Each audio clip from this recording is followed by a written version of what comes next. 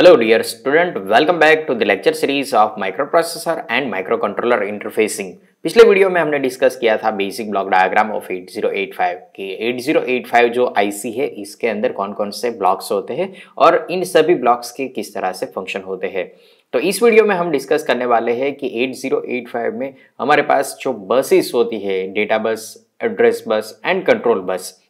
वो किस तरह से वर्क करती है? तो चलिए जल्दी से स्टार्ट करते हैं।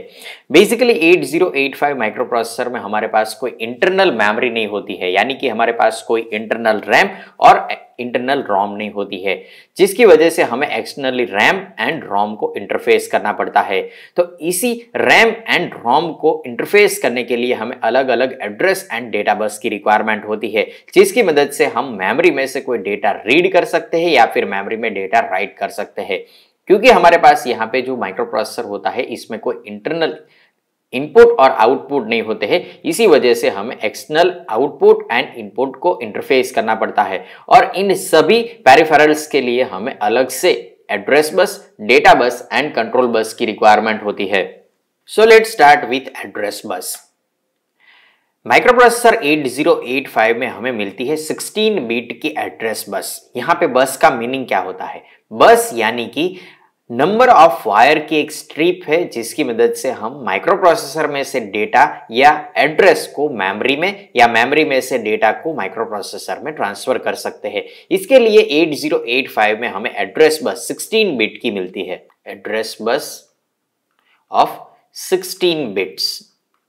ये एक तरह की 16 वायर की एक स्ट्रिप है, जिसकी मदद से माइक्रो प्रोसेसर है, वो रैम में या रोम में डेटा को ट्रांसफ़र कर सकता है। यहाँ पे जो हमें एड्रेस बस मिलती है, वो यूनिडायरेक्शनल एड्रेस बस है। यानी कि माइक्रो प्रोसेसर 8085 मेमोरी में से या फिर इनपुट आउटपुट में से कोई भी एड्रेस को ट्रांसफ़र कर सकता है, लेकिन एक ही डायरेक्शन में एड्रेस ट्रांसफ़र हो सकता है। माइक्रोप्रोसेसर टू मेमोरी और माइक्रोप्रोसेसर टू इनपुट आउटपुट तो यहाँ पे हमें 16 बिट की एक एड्रेस बस मिलती है, जिसकी मदद से माइक्रोप्रोसेसर एड्रेस को ट्रांसफ़र कर सकता है। 16 बिट का मीनिंग क्या होता है? यहाँ पे एट अ टाइम 8085 16 बिट को ट्रांसफ़र कर सकता है ओके तो यहाँ पे हमें 8085 में 16 बिट यानी कि अगर हेक्साडेसिमल में हम लिखे तो ज़ीरो ओके यहाँ पे एक डिजिट के अलग अलग चार बाइनरी बिट्स बनते हैं। तो ए हो गया एक hexadecimal number hexadecimal number zero zero zero zero zero से लेके हम F F F F H तक मेमोरी लोकेशन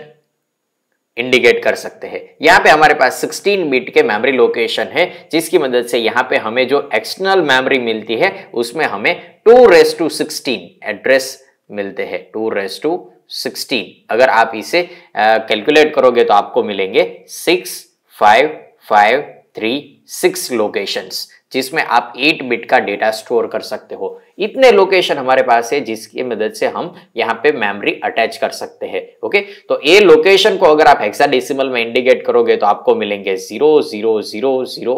H से से लेके F F F F H तक ओके और लोकेशन कितने होंगे? 65,536 जितने लोकेशन आपको मिलते हैं जिसकी मदद से आप यहाँ पे मेमोरी में डेटा स्टोर कर सकते हो। तो यहाँ पे हमारे पास 16 बीट है। अगर यहाँ पे हमारे पास 32 बिट्स होते ओके कोई ऐसा माइक्रो प्रोसेसर है जिसमें 32 बिट्स है तो इसके लिए हमें मिलते two raise to thirty two and is equal to four kilo byte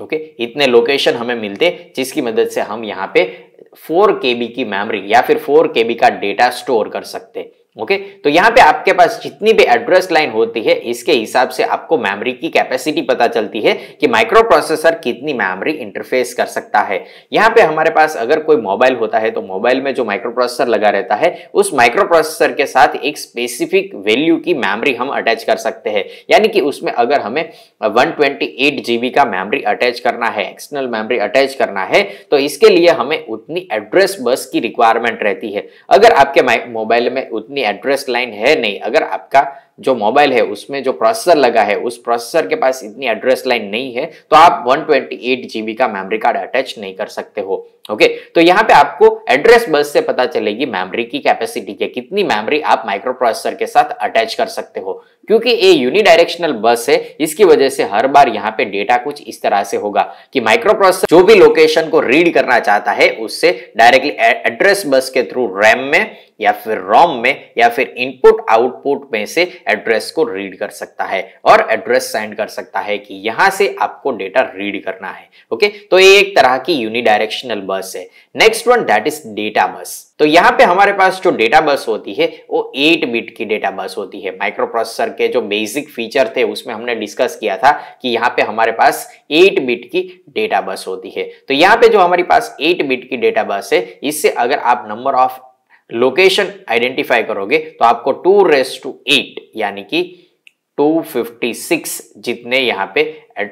port मिलेंगे, जिस पे आप डेटा ट्रांसफ़र कर सकते हो। तो यहाँ पे जो हमारे पास 8 बिट की डेटा लाइन है, उस डेटा लाइन में आप बायडायरेक्शनल डेटा ट्रांसफ़र कर सकते हो। यानी कि माइक्रो प्रोसेसर जब चाहता है, तब यहाँ पे डेटा मेमोरी में सेंड कर सकता है, या फिर मेमोरी में से रीड करके माइक्रो प्रोसेसर में लोड कर सकता है। तो यहाँ पे बायडायरेक्शनल बस है, यानी कि टू वे कम्युनिकेशन हो सकता है, जबकि एड्रेस बस में कंपलसरी एड्रेस माइक्रोप्रोसेसर सेंड करेगा कि इस एड्रेस से हमें डेटा रीड करना है। यानी कि यूनिडायरेक्शनल है। मेमोरी में से कोई एड्रेस आप माइक्रोप्रोसेसर में डायरेक्टली सेंड नहीं कर सकते हो। जबकि डेटा लाइन में आपको माइक्रोप्रोसेसर में से जो डेटा रिज़ल्ट मिला है, उस रिज़ल्ट को अगर मेमोरी में स्टोर करना है तो यहाँ पे बाय बायडायरेक्शनल बस है, उसकी मदद से आप यहाँ पे मेमोरी में से डेटा माइक्रो प्रोसेसर में लोड कर सकते हो, या फिर माइक्रो प्रोसेसर में जो भी आपको रिज़ल्ट मिला है, उस रिज़ल्ट को लेकर डायरेक्टली मेमोरी में स्टोर कर सकते हो। तो यहाँ पे आपको 256 अलग अलग लोकेशन मिलते हैं, जिसकी मदद से आप यहाँ पे अलग अलग डेटा को ट्रांसफ़र कर सकते हो। और अगर आपको इसे हेक्साडेसिमल में कन्वर्ट करना है तो हेक्साडेसिमल में होगा ज़ीरो ज़ीरो एच से लेके एफ़ एफ़ एच तक।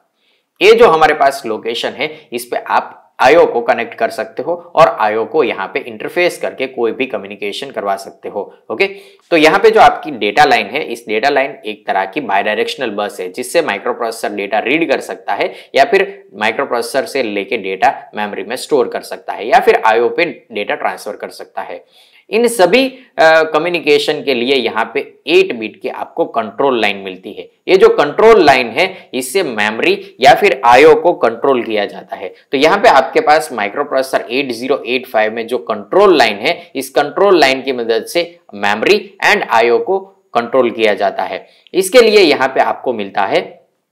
आयो स्लैश एम बार एक कंट्रोल सिग्नल दूसरा मिलता है रीड का कंट्रोल सिग्नल एंड तीसरा मिलता है राइट का कंट्रोल सिग्नल यहाँ पे जो आपके पास रीड राइट का कंट्रोल सिग्नल है, इसकी मदद से आप यहाँ पे IO read IO write memory read and memory write का फ़ंक्शन ले सकते हो। इसके अलावा यहाँ पे जो आपके पास मेमोरी है, इस मेमोरी में जो आपका प्रोग्राम स्टोर हुआ होगा, इस मेमोरी को रीड करने के लिए यहाँ पे एक अलग से एक फ़ंक्शन दिया जाता है, जिसे बोलते हैं अपकोड फैच अब कोड फैच क्या है, इसके बारे में हम जब प्रोग्रामिंग स्टार्ट करेंगे, तब आपको मैं बताऊँगा कि अब कोड क्या होता है ओके जो भी इंस्ट्रक्शन जो भी कीवर्ड यूज़ होते हैं प्रोग्रामिंग के लिए, इसे बोला जाता है अप कोड्स तो कौन कौन से अप कोड डेटा ट्रांसफ़र के लिए यूज़ होते हैं एरिथमेटिक ऑपरेशन के लिए अप कोड कौन से यूज़ होते हैं, इसके बारे में हम जब प्रोग्रामिंग करेंगे, तब हम इसके बारे में डिस्कस करेंगे. तो यहाँ पे आपको जो कंट्रोल लाइन मिलती है, एक कंट्रोल लाइन में आपको इस तरह से अलग अलग कंट्रोल्स मिलते हैं, जिसकी मदद से आप मेमोरी या फिर आयो को रीड राइट कर सकते हो। इसके अलावा अपकोड फैच भी कर सकते हो। इसी वजह से यहाँ पे जो कंट्रोल लाइन मिलती है, वो आपकी मेमोरी के साथ और आयो के साथ इंटरफेस की जाती है, जिसकी मदद से आप ये सारे ऑपरेशन ले सकते हो। यहाँ पे जो कंट्रोल लाइन है, वो एक तरह की यूनिडायरेक्शनल बस है। इसके अलावा जो हमें यहाँ पे एड्रेस लाइन मिलती है, उस एड्रेस लाइन में दो पार्ट मिलते हैं ओके फ़र्स्ट पार्ट है, इसमें हमें मिलते हैं ए डी ज़ीरो से लेके A D seven and second one part that is A eight to A fifteen first part में हमें एट बिट मिलते हैं, जिसमें हमें एड्रेस एंड डेटा को मल्टीप्लेक्स फॉर्म में मिलते हैं, जिसमें ए ज़ीरो से लेके A seven and D zero से लेके डी सेवन को मल्टीप्लेक्स किया जाता है। इसका मैंने आपको रीजन बताया था कि अगर आपको माइक्रो प्रोसेसर में नंबर ऑफ़ पिन को रिड्यूस करना है तो इस तरह से मल्टीप्लेक्सिंग किया जाता है, जिसको हम बाद में डी मल्टीप्लेक्स करके एड्रेस या फिर डेटा को एट अ टाइम यूज़ कर सकते हैं। और नेक्स्ट वन जो हायर एड्रेस है एड्रेस बस है, उसमें हमें एट बिट मिलते हैं, जिसमें A eight to A fifteen अलग अलग एट बिट को जोड़ दिया जाता है, जिसकी मदद से आप एड्रेस को पूरा zero zero zero zero H से लेके एफ़ एफ़ एफ़ एच तक सेंड कर सकते हो और इस पे डेटा रीड या राइट करवा सकते हो। तो इस तरह से हमें जो यहाँ पे एड्रेस लाइन में ए डी ज़ीरो से लेके ए डी सेवन मिलता है, इसको किस तरह से डी मल्टीप्लेक्स किया जाता है, इसके बारे में हम नेक्स्ट वीडियो में डिस्कस करेंगे। तो ये था पूरा bus organization of eight zero eight five micro processor unit okay next video में हम देखेंगे कि किस तरह से एड्रेस और डेटा को डी मल्टीप्लेक्स किया जाता है। इसके बारे में हमने थोड़ा बहुत डिस्कस कर लिया था कि एड्रेस और डेटा को डी मल्टीप्लेक्स करने के लिए यहाँ पे एक पिन यूज़ होती है, जिसको हम बोलते हैं A L E pin address latch enable pin इसका फ़ंक्शन किस तरह से होता है, इसके बारे में हम नेक्स्ट वीडियो में डिस्कस करेंगे। तो अगर आपको ये वीडियो अच्छा लगा हो तो वीडियो को लाइक करना शेयर करना और चैनल को सब्सक्राइब कर लेना, जिसकी मदद से आपको सारे वीडियो के नोटिफिकेशन सबसे पहले मिलते रहे। तो मिलेंगे नेक्स्ट वीडियो में। Thank you very much